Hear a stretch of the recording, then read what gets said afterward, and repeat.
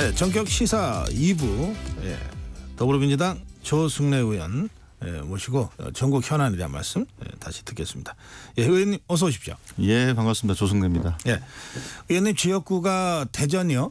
예, 대전, 어느 예, 지역입니까? 대전 유성구 갑입니다. 유성갑 그저 유성 온천 있는 예, 그렇습니다. 그 유성의 남쪽인데요. 네. 음, 그래서 유성 온천이 있고 유성 오일장이 서는 곳이고 네 어, 카이스트와 충남대 한밭대 이 국립대가 세 곳이 있는 어, 그런 곳입니다. 어, 전통과 현대가 공존하는 예, 그렇습니다.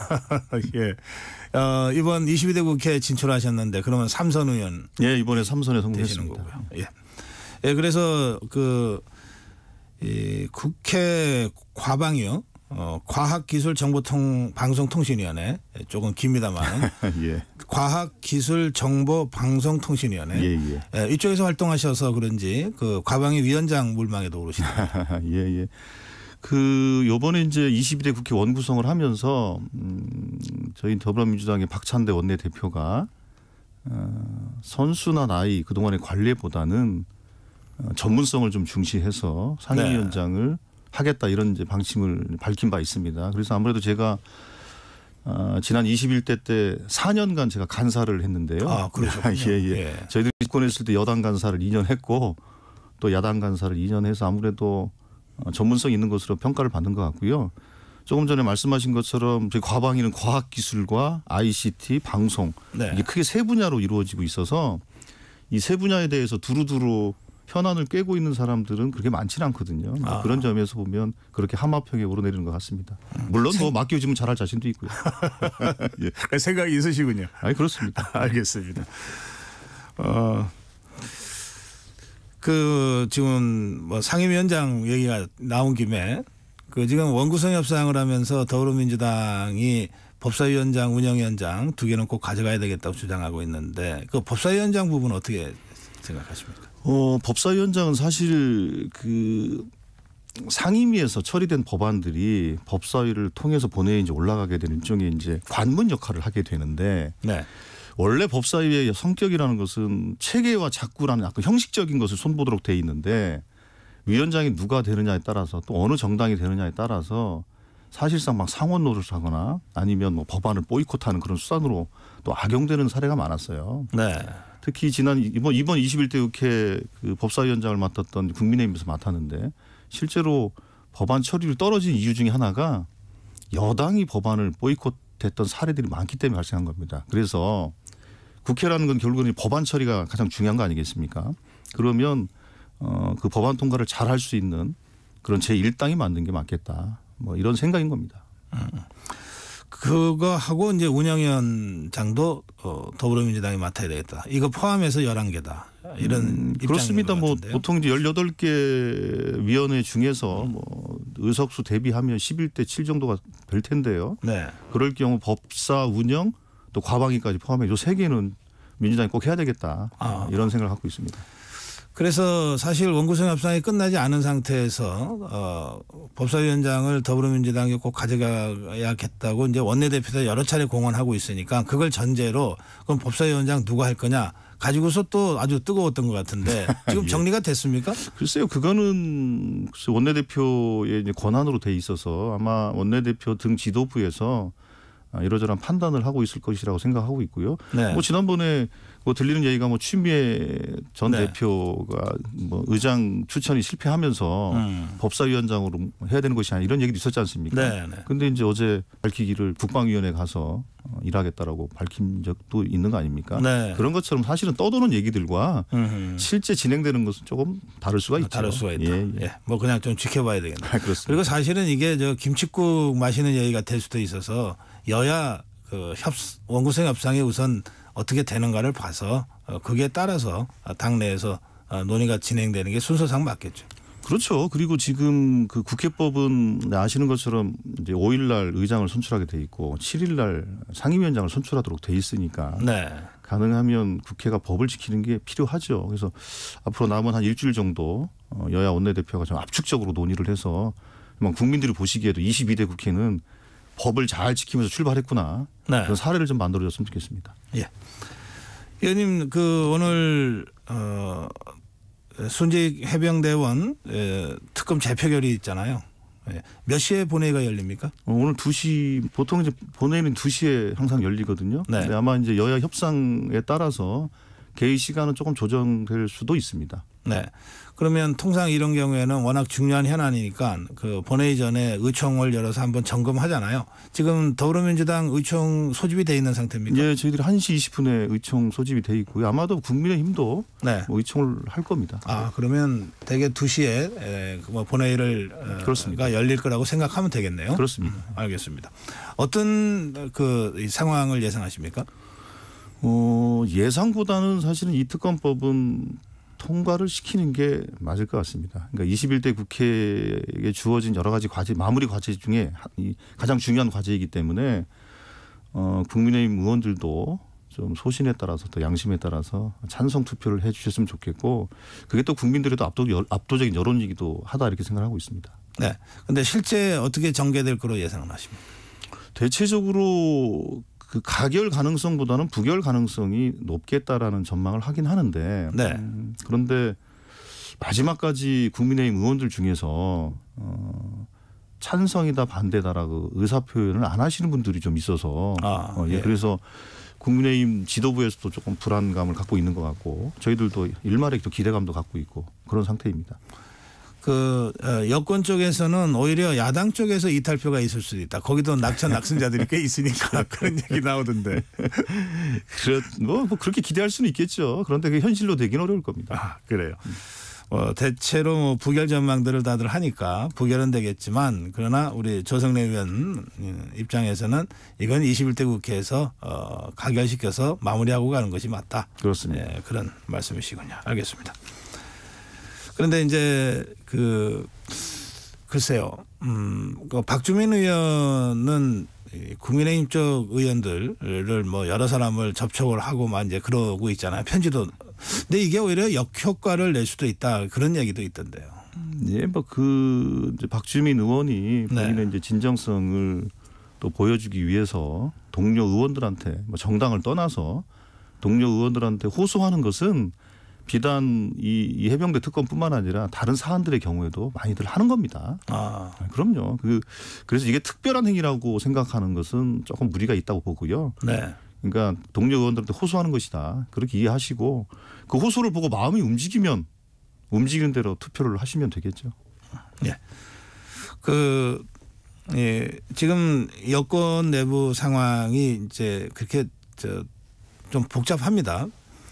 그리고 다섯 명이 공개적으로 특검 찬성 입장을 공개적으로 표현을 했어요. 그렇습니다. 예, 그러다 보니까 그 다섯 명의 의원들에 대한 예, 여권 내의 이런저런 비판, 그것도 상당히 수위 높은 비판도 나오고 있는데, 뭐 홍준표 시장은 예, 대통령을 보호해야 한다 아, 하면서 만약에 여당이 대통령을 보호하지 못하면 그 대통령이 계속 여당 소속으로 있을 이유가 있느냐 이런 취지의 얘기까지 좀 강하게 하고 있거든요.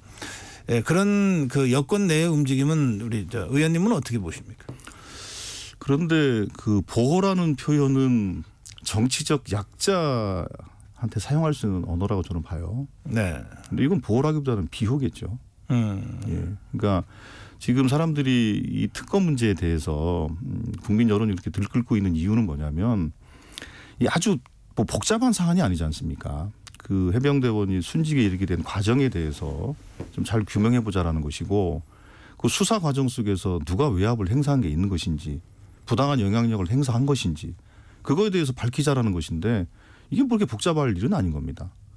근데 이게 무슨 대통령에 대한 보호 얘기까지 나오는지 좀 이해할 수가 없는 것이고요. 그러니까 결국 그 얘기는 뭐냐면 대통령실과 또 나아가서는 대통령이 이 해병대 순직 사건을 처리함에 있어서 어떤 부당한 영향력을 행사했다는 것이 일종의 방증 아니냐 이렇게들 이해할 수밖에 없는 것이죠. 그러니까 이거는 보호라기보다는 비호이고 만약에 이런 식으로 진행된다면 어, 집단적으로 몰락하게 될 아주 최악의 상황도 생각할 수 있다. 이렇게 좀 받아들이는 것이 맞다고 보고요. 그런 측면에서 보면 오히려 여권 입장에서도 음, 이 특검법을 처리해 주는 것이 제가 보기에는 오히려 정치적으로도 훨씬 좋을 것이다. 이런 생각을 갖습니다. 어, 근데 이제 여권에 어쨌든 이, 그, 이 특검법을 둘러싼 뭐 균열 같은 게 있잖아요. 이걸 야당에서는 어떻게 보는지 궁금합니다. 이게 그 이를테면은 이제 상대가 그 균열되고 분열되는 거니까 좋아하는 건지 아니면 이게 그래도 여야 관계라고 하는 게 좀 건강하게 가야 되는데 좀 걱정하는 건지 어, 어떤 분위기입니까? 이제 아마도 이제 그 이 사건 그 자체로 대통령이 거부권을 행사하시고 이거에 대해서 국회가 재의결 표결을 하는 것이기 때문에 이 사안의 특검의 필요성이 있기 때문에 그 국민의힘 내부에서 어, 뭔가 소신 투표하시는 분들이 많이 생겼으면 좋겠다라는 기대를 하게 되는 것이고요. 네. 근데 이것이 22대 국회에서 예를 들면 민주당과 1당과 2당이 국회를 원만하게 운영해 나가는 것하고는 크게 저는 관계가 없다고 생각합니다. 그래요? 왜냐하면 예. 이건 21대 과제로서 마무리가 되고 22대는 새로운 당선자들로 거의 한 절반 정도는 바뀐 상태에서 출발하지 않겠습니까? 네. 물론 이제 그 지금 이제 원내대표에게는 조금 영향을 주긴 하겠습니다만 그러나 그게 22대 그 운영하는 데 있어서는 크게 영향을 줄 것 같지는 않고요.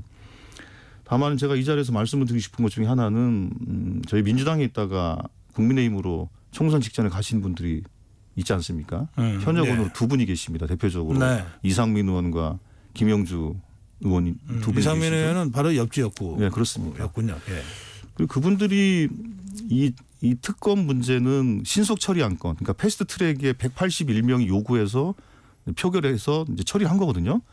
그때 서명을 하셨던 분들이에요. 네. 그 두 분이. 그러니까 당신들의 소신껏 저는 투표를 해줬으면 좋겠습니다.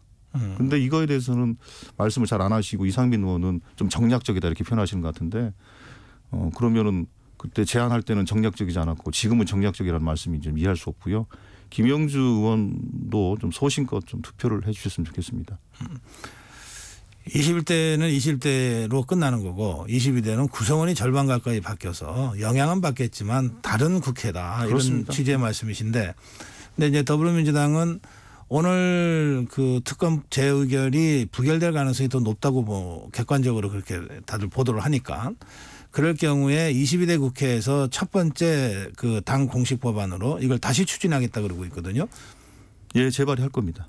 음. 그거는 이제 21대와 22대는 다르다고 아까 말씀하신 이제 의원님 말씀하고 조금 느낌이 좀 다른데. 그런데 예. 그거는 마찬가지인 것이 예를 들면 오늘 중요한 주제 중에 하나가 또 연금 개혁 네. 아닙니까? 네. 근데 21대 국회 때 모수 개혁에 대해서 개혁을 한다면 22대로 넘어가지는 않겠죠. 네. 그건 이제 구조 개혁 문제를 집중해서 논의하면 되겠죠. 근데 그게 21대 국회 때 마무리가 안 됐기 때문에 22대 넘어가는 그러니까 과제는 넘어가고 음. 사람은 바뀌고 네. 예, 그렇게 이해하면 될 것 같습니다. 음, 그래요. 뭐 저기 우리 조성래 의원이 먼저 말씀을 하셔서 그 연금 개혁안 얘기도 어 그럼 좀 바로 좀 말씀 듣겠습니다. 그 지금 상황을 어떻게 그 보고 계십니까? 어 그러니까 지금 그 윤석열 대통령께서 취임하시면서 몇 가지 큰 개혁을 말씀하셨어요. 교육 개혁, 노동 개혁, 연금 개혁. 네. 가장 중요하게 말씀하신 개혁 과제입니다. 그리고 이 개혁 과제를 뒷받침하자고 여당에서 요구해서 연금 개혁 특위를 만들었던 겁니다. 국회에. 그래서 논의를 거쳤고 만들어진 안에 대해서 국민들의 공론화 과정을 거쳐서 안이 만들어진 거거든요. 네. 그 안에 대해서 결국은 처리 여부만 남아 있는 것인데 그거는 결단입니다. 그러니까 결단을 하자고 하는 것이기 때문에 대통령이 당초에 제안하셔서 연금 개혁안 그리고 여당의 주장 이런 것들 다 반영해서 정치적 유불리를 떠나서 정말 국가의 미래를 위해 연금의 미래를 위해서 또 우리 미래 아이들을 위해서 이번에 우선 1단계 개혁을 하고 그 2단계 구조 개혁을 하자라는 제안인 거거든요. 근데 여기에는 그 어떤 뭐 정치적 계산 이런 이런 이런 것보다는 21대 국회에서 공론화됐던 것들을 좀 마무리하는 차원에서 하자라는 저는 충정 어린 제안이라고 생각하고 있고 어, 이재명 대표의 제안은 저는 진정성이 있다고 보고 있고요. 그렇기 때문에 김진표 장까지 화답한 거 아니겠습니까? 근데 이거를 굳이 미룰 이유가 뭐가 있을까요? 음. 지금 국민의힘 쪽에서 이게 정략적인 제안이다라고 이제 성격 규정을 하고 있는 이유 중에 하나가 지금 의원님 말씀하신 대로 2년 가까이 국회에서 논의가 있었고 또 국회 연금개혁 특위가 한 한 달 전쯤에 어쨌든 이제 최종적인 협상 끝에 결국은 결렬되고 결렬 선언까지 했는데 그때까지 이재명 대표가 연금 문제에 대해서 일체 뭐 발언을 안 하다가 불과 21대 국회 폐회 며칠 남기고 갑자기 들고 나오니까 이게 진정성이 있는 제안이냐 이런 식으로 해서 정쟁적 어, 요구가 요소가 있다 이렇게 규정하는 것 같은데 그 점은 어떻게 그런데 그게 이제 그 겉으로 드러나기는 그렇게 뭐 이해할 수 있고 혹은 또 오해할 수 있다고 생각은 해요. 그런데 어 저희들 민주당 당내에서는 그 연금 개혁 문제와 관련해서 어 선거 끝나고 총선 끝나고 나서 몇 차례 의원총회가 있었습니다. 그때마다 어 우리 당의 간사 그러니까 연금 개혁 특위 간사를 맡고 있는 김성주 의원이 네. 연금 개혁 문제에 대해서 계속 보고를 했습니다. 아, 그랬군요. 아, 그럼요. 예. 내부적으로 토론도 있었고요. 이런 과정들을 거쳐서 대표의 발언이 나온 것이지 아무것도 안 하다 갑자기 나오는 그런 사안들이 아니다. 네. 그렇게 이해하시는 게 맞고요. 네. 그렇기 때문에 저희들이 진정성 있는 제안이라고 말씀을 드리는 것이지 그러지 않았으면 그 당내 논의가 없었다고 한다면 그 주장이 일면 타당한 면도 있겠죠. 근데 당내에서는 상당히 깊은 논의가 계속 있어 왔습니다. 그 조금 전에 우리 조성래 의원은 1단계 모수 개혁을 이번 국회에서 처리하고 그리고 22대 국회에서는 2단계 구조 개혁 얘기를 여야가 의논해 가면 되지 않냐 이러셨는데 그러면 지금 이재명 대표의 그 제안 또는 더불어민주당의 그 입장은 구조 개혁을 전제로 하는 거라고 이해를 해도 됩니까? 어, 그거는 대체적으로 연금 개혁이 필요하다고 하는 전문가들 또 여야 정치권들 모든 분들이 그렇게 또 정부도 그렇고요. 그렇게들 생각을 하고 있습니다. 네. 이제 그렇기 때문에 한꺼번에 패키지로 묶어서 하면 참 좋겠지만 네. 실제로 구조 개혁은 엄청난 이해관계도 얽혀 있고 네. 또 직영연금을 건드려야 되는 문제이기 때문에 그렇죠. 상당히 복잡하고 지난한 정치적 과정이 필요합니다. 네. 그래서 그거는 정말로 좀 시간을 두고 하는 게 필요한 거고요. 우선은 연금의 고갈 상태를 좀 뒤로 좀 미루는 조치를 먼저 하는 것이 필요하겠다라고 해서 예, 예. 오수 개혁을 하게 되는 거니까요. 그렇게 단계적으로 하는 것이 현실적이다. 저는 그렇게 이해합니다. 그게 현실적이라고 이제 조성래 의원님 말씀하신 거 이해가 됩니다. 그런데 이제 예, 설명하신 대로 일단 모수 개혁을 우선 이게 너무 화급하니까 예, 그거부터 하- 하자는 건데 그걸 해놓으면 말씀하신 대로 구조 개혁은 워낙 이해관계 상충이 많아서 이거는 영원히 못하게 될지도 모른다. 그러니까 차제의 모수 개혁의 그 절박성을 다들 이 국민들이 알고 있는 상태에서 어떻게든 패키지로 해야 어려운 구조개혁도 할 수 있다. 이게 이제 국민의힘이나 대통령실에서 얘기하는 것 같아요. 그 입장에 대해서는 어떻게 생각하십니까? 그거는 그 21대 국회 연금 개혁안을 처리를 반대하는 이제 갑자기 동원된 논리고요. 아, 아니, 예. 그동안 계속 그 대통령실도 정부도 그렇고 어, 여당도 그렇고요. 그 단계적 개혁안에 대해서 계속 논의를 해왔던 겁니다. 네. 근데 뭐 이제 와서 표결하자고 하니까 갑자기 그걸 묶어서 해야 된다라고 주장하는 것은 그동안의 논의를 다 부정하는 거예요. 네. 예. 그거는 에, 옳지 않은 얘기입니다. 자, 그러면 이제 현실적으로 이제 이틀밖에 안 남았는데 21대 국회에서 이게 처리 가능하겠습니까? 어, 그러니까 지금 이제 13% 내는 것에 대해서는 어느 정도 동의가 모아진 것이고 여, 여- 여야가 지금 합의가 어, 돼 있는. 거죠. 예, 예. 그리고 그러면 이제 그 소득 대체율을 몇 프로를 할 거냐 문제 아니겠습니까? 네. 그 문제에 대해서는 여당과 정부가 계속 얘기했던 안들을 우리가 받겠다고 한 거예요. 음, 44%. 네, 그렇습니다. 예. 그러면 되는 거죠. 예, 그럼 오늘이라도 정책 결단만 있으면 할 수 있는 일이다. 그렇습니다. 예. 예, 알겠습니다. 음, 조금 다른 문제 제가 질문 드릴게요.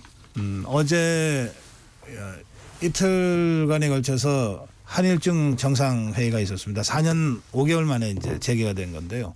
우선 어떻게 보셨는지요? 일단은 그 삼국이 같이 정상들이 모여서 어쨌든 이, 이 동북아 동아시아 이 현안 문제에 대해서 논의하는 것은 뭐 바람직한 일이라고 보고 있고요. 그건 정례화시키는 게 필요합니다. 그래야 아. 이 영내의 여러 가지 긴장 관계들이 해소가 되고 그리고 공동의 이익이라는 게 또 있는 거 아니겠습니까? 그리고 또 공동의 또 현안들도 있고요. 그 현안들을 잘 처리하기 위해서는 좀 필요한 일이라고 생각합니다. 한일중 정상회의는 어떤 어떤 형태로든 정례화 에, 되고 있는 것 같은데요. 그런데 그 이제 우리 입장에서는 여러 가지 현안들이 있잖아요. 에, 경제 협력 문제도 있고 또 북핵 문제도 있고 그런데 이번 중국의 태도는 대개 경제 협력 쪽에 초점이 맞춰진 것 같다.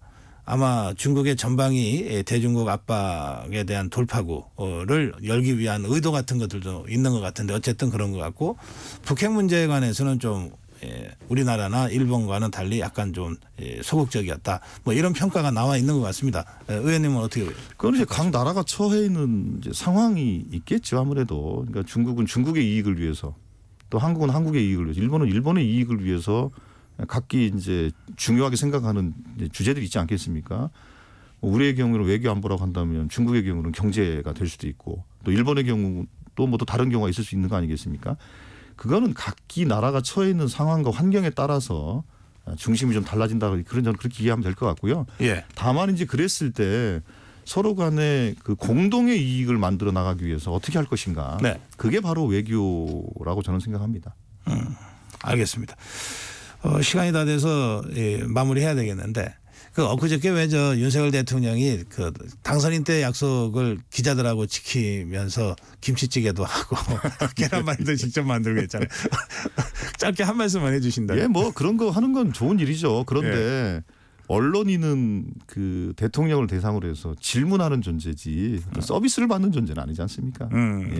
예. 질문이 없으면 예, 그건 그런 건 사실 그래서 형식적인 쇼다 이렇게들 그래서 이해를 하는 것이 음. 그 과정 속에 질문이 자유롭게 오갔으면 네. 참 좋았겠죠. 음. 예. 앞으로 다 그런 그런 것도 기대하겠습니다. 다 좋은데 진짜 질문하고 답변하는 모습이 그렇습니다. 본질이다. 그게 본질이죠. 알겠습니다. 오늘 여기까지 하겠습니다. 네. 예, 더불어민주당 조승래 의원과 함께 말씀 나눴습니다. 고맙습니다. 예, 감사합니다.